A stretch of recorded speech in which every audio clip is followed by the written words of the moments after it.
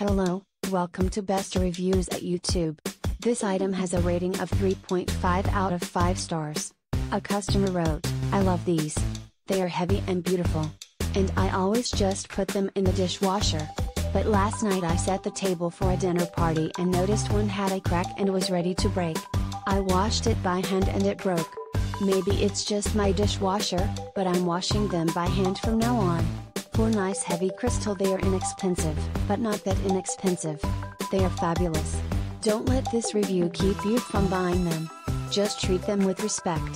They are my favorites. And the champagnes are lovely too. Thank you for watching. Please give the thumbs up.